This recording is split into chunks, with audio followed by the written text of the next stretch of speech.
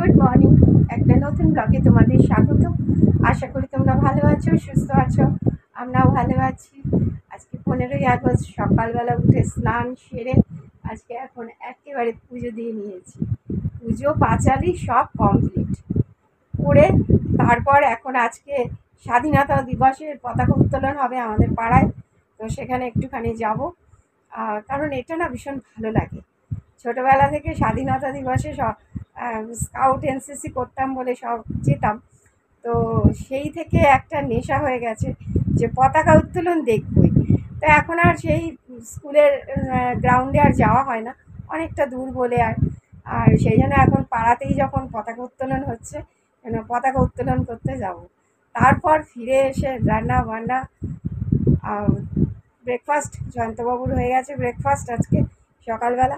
আর এই যে পতাকা সব সাজিয়ে সাজিয়ে এসে দেখো, এখানে শুয়ে রয়েছে। এই যে। শুয়ে, এই যে দেখো, কি করছ গো? ওই দেখো, হাত দেখাচ্ছে হাত দেখাচ্ছে। সব গুছিয়ে গাছিয়ে এসছে। এখন সব বাচ্চা বাচ্চা, ছেলে মেয়েরা সব আসছে। আসবে আর কি, আর স্কুলে গেছে সবাই। স্কুলে এখন ছুটি হবে, তারপরে আমাদের পতাকা উত্তোলন হবে। তো চলো, এবারে আস্তে আস্তে যাব আর কি তোড়জোড় করছি। আর এখন ইতিমধ্যেই ঠাকুরের জায়গাটা আমি মুছে নিয়েছিলাম। তারপরে দেখি পুজোতে বসার আগেই দেখছি আমাদের কাজের মেয়েটাও চলে এসছে। ও ঘর মুছে দিয়ে চলে গেছে। মোটামুটি আজকে আমার অনেকটা কাজ সকালবেলা গোছানো হয়ে গেছে।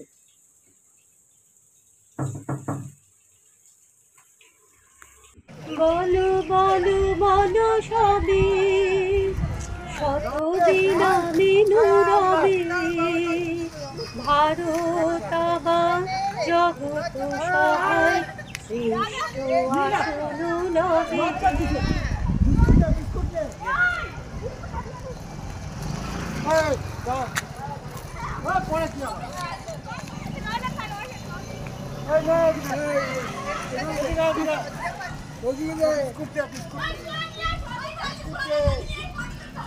বন্দে মাতরম! বন্দে মাতরম! হ্যাঁ। একটা করে একটা করে।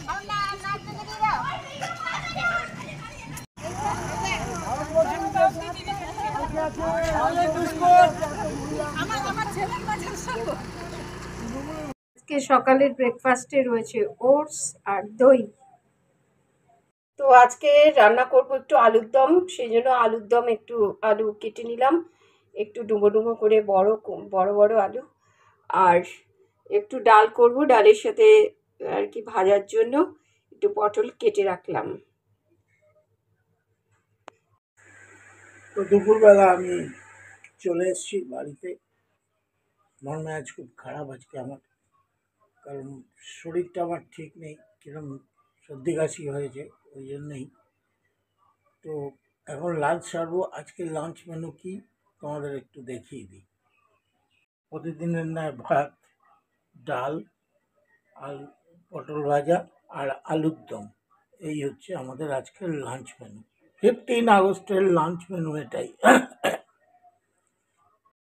গতকাল চোদ্দোই আগস্ট, রাত্রিবেলা তিলোত্তমার জন্য যে প্রতিবাদ মিছিলটা হয়েছিল রাত জাগু তো আমাদের বাটানগর থেকেও একটা মিছিল হয়েছিল, লুঙ্গি মোড় থেকে বাটা মোড়, আবার বজবজ থেকেও বজবজ প্লাস্টার মোড় বলে একটা জায়গা আছে, সেখান থেকেও শ্যামপুর হয়ে আবার তারা হয়তো নুঙ্গি মোড়ে এসে একত্রিত হয়েছে নুঙ্গি মোড়, বাটা মোড়। প্রচুর লোক তো সেখানে আমার একটু যেতে দেরি হয়ে গিয়েছিল, কারণ আমি একটু একাই গেছি যেহেতু। সেহেতু পায়েলের বাবা আর যেতে পারেনি। তো সেহেতু ততক্ষণে মিছিলটা শুরু হয়ে গেছে। তো যেহেতু মিছিল শুরু হয়ে গেছে, আমি আর লাইভ করতে পারিনি কারণ আমি লাইভ করতে সত্যি জানি না। এইগুলো সব পায়েলই ভালোভাবে জানেন। তো ওকে আর নিতে পারিনি কারণ ওর পক্ষে যাওয়াটা খুব চাপের ছিল। ইচ্ছা ওর ছিল, কিন্তু আর গিয়ে উঠতে পারেনি আর কি। তো সেখানে হাঁটতে হাঁটতে তোমাদের একটুখানি মিছিলের কিছুটা অংশ তোমাদের একটু দেখাচ্ছি।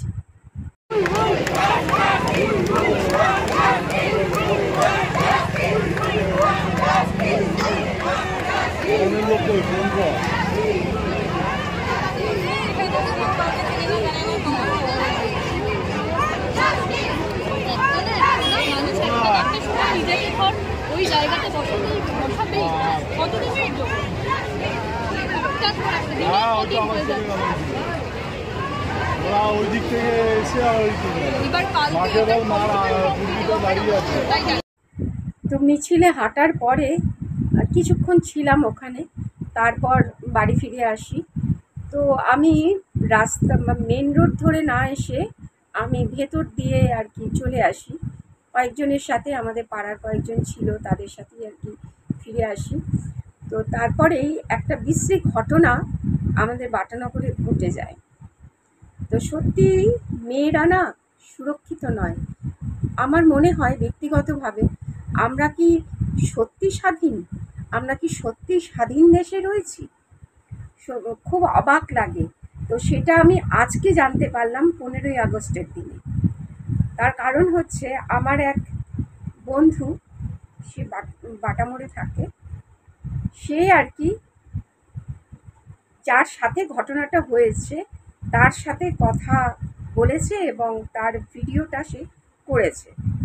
তো আজকে সকালবেলা দেখছি সে ভিডিওটা পোস্ট করে যে তার সাথে কি হয়েছিল।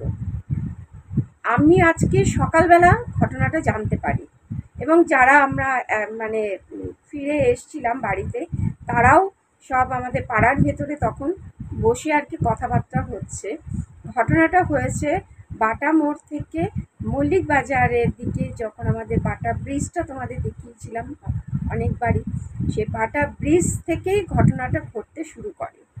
চার, একটি মেয়ে আর একটি ছেলে বাইকে করে কোথায় যাচ্ছিল। তো কোনো কারণে ছেলেটি বাইকটা রেখে সাইডে হয়তো কোনো কারণে গিয়েছিল, তখন মেয়েটা রাস্তায় দাঁড়িয়েছিল। তো তখন চার, পাঁচজন ছেলে এতটাই তাকে উত্তক্ত করে এবং খুব বাজে বাজে মন্তব্য করেছে। তো আমি সেইগুলো সব কিছুই তোমাদের সেই ভিডিওটাই ডেসক্রিপশন বক্সে আমি দিয়ে দিচ্ছি। তোমরা অবশ্যই ভিডিওটা দেখবে এবং তোমাদের মতামত জানাবে। আমার মনে হয় আমরা সত্যি স্বাধীন হয়েও আমরা পরাধীন, বিশেষ করে মেয়েরা।